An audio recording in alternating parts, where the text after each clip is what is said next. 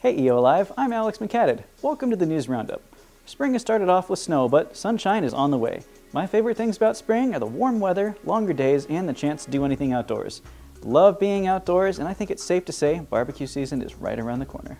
This is the Friday edition of the News Roundup, brought to you by Grande Ronde Hospital and EONI.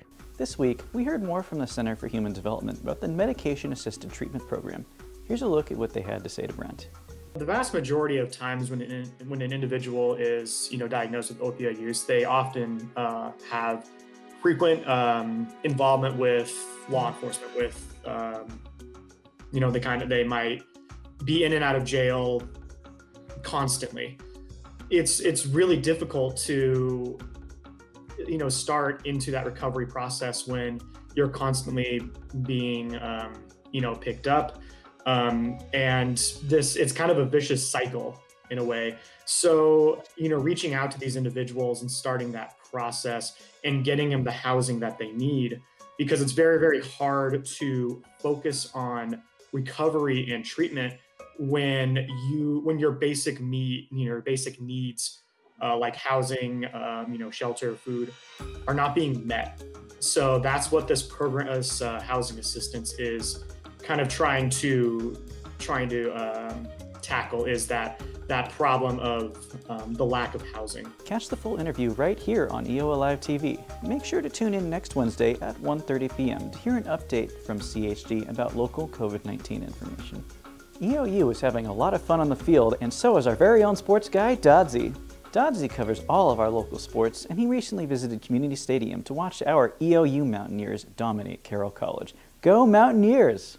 Here's more sports news with our very own Doddsy. Thanks, Alex. Big week for EOU sports, man. That football team went out and crushed Carroll. The three-handed monster of Solo Taylor, Sage DeLong, and Chase Van Wyck was in full effect. We got to see Blaine Shaw, true freshman, starting at safety. We saw Parker Robinson out there. We saw Nate Reed. We saw Cade Reed catch a touchdown. All these La Grande kids. Quincy Backus moved from running back to, to corner and had a heck of a game, man. Mount up. Let's go. LHS, the football team got another win against Vale. Let's keep it going. Let's get in that top four, you guys. Let's go. On Wednesday, I had Justin Jeske. How many nicknames you got? I, I call so I call you Baby Gronk, but I see on your uh, Instagram feed there's like toast and what else? Yeah, yeah, I got toast, cheese, uh, Baby Thor, Where where's toast come from?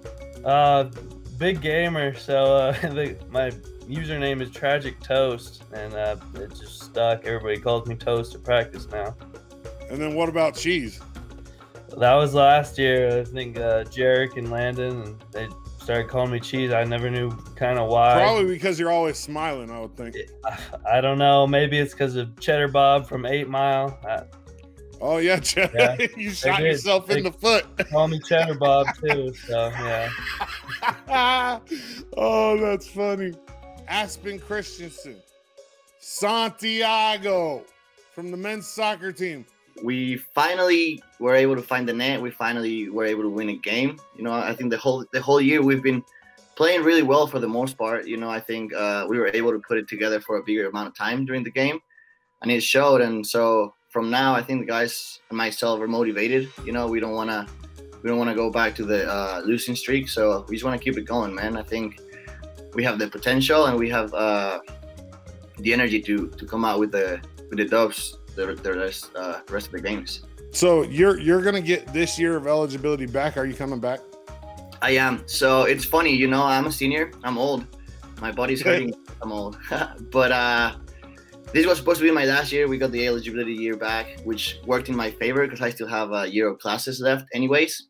So I'm definitely coming back, grinding out uh, school, and you know I get to play. Luckily, so definitely coming back. So exciting, man! This show's got some momentum. Eastern Oregon Alive Sports. Monday, Wednesday, Friday, 5:30 p.m. Give it a like, share, follow right here on EO Alive TV. Back to you, Alex. Catch the EO Alive Sports Show live with Doddsy every Monday, Wednesday, and Friday at 5.30 p.m. or listen to our EO Alive Sports podcast on Spotify. This week on AM on EO Alive, we hosted a very special guest, Sheriff Cody Bowen. Sheriff Bowen talked to us about his new EO Alive show, Keeping It Clear with Cody Bowen. Here's a look. I've spent a long time this last year preparing myself for this position and and learning the ins and outs of it, you know, on the side. And now that I'm in office, the uh,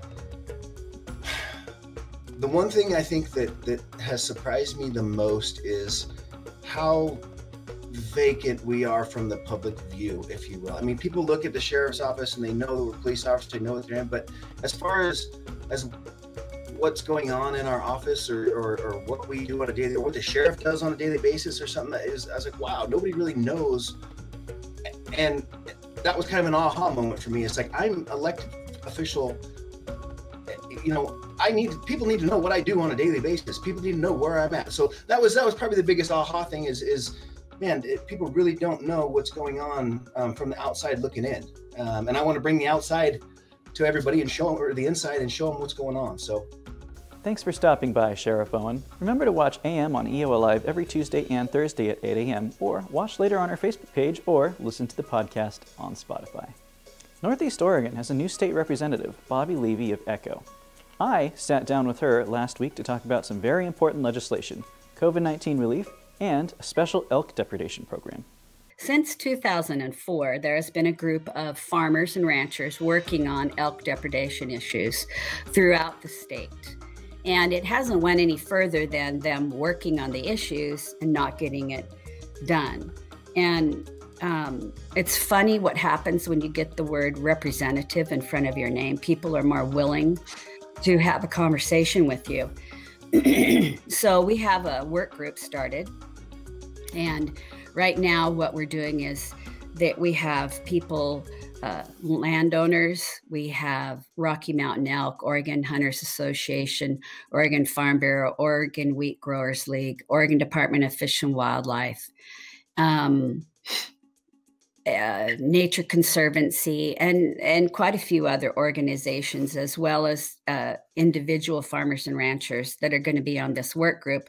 Thanks, Rep Levy, for talking with me about everything going on in Salem. We look forward to connecting you with our viewers again. In our brieflies this week, Arts Center East will host their fifth annual Fiber Arts and Jewelry exhibit on Saturday from 10 a.m. to 2 p.m. The center says that the annual exhibit creates a platform for an underrepresented branch of the visual arts while showcasing the breadth of talent within our local community of fiber and jewelry artists. La Grande Church of the Nazarene will host its Easter Jam Party on Sunday at 3 p.m. featuring food, games, and other family-friendly activities. The Delta Epsilon sorority will hold a Pinochle fundraiser at Urban Vine in Island City on Saturday. Tickets are $10 per person at the door. Snacks will be provided and prizes will be awarded. Players at all skill levels are welcome. Delta Epsilon sorority primarily fundraises for local and national charities, including St. Jude Children's Research Hospital. Remember, the La Grande Parks and Recreation Department will host a doggy Easter egg hunt sponsored by PetSense on March 27th at the Riverside Dog Park at 2 p.m. Easter eggs will have dog treats inside. There will be prizes for the best dressed dog and best dog trick. There will also be human snacks for the human participants. Thanks for watching EO Alive. I'm Alex McCadden. Tune in again next week for the News Roundup. Make sure to catch our News Roundup podcast on Spotify.